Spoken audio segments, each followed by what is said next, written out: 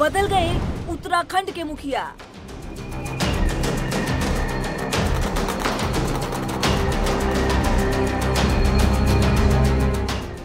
कितना बदला प्रशासन का रवैया। ठीक है तो चार लोग मौके पर पहुँच चुके हैं। क्या काम करते हैं आप लोग? क्या काम होता है यहाँ पे?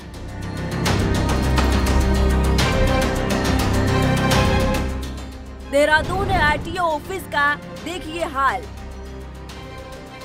मैं टेक्निकल अधिकारी हूँ।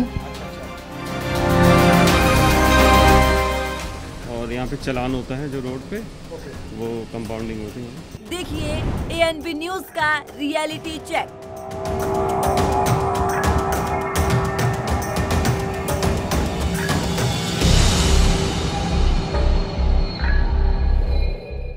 देखिए हम इस समय ऐसे फ़ेज़ से गुजर रहे हैं कि पेंडेंसी हमारी बहुत ज़्यादा है।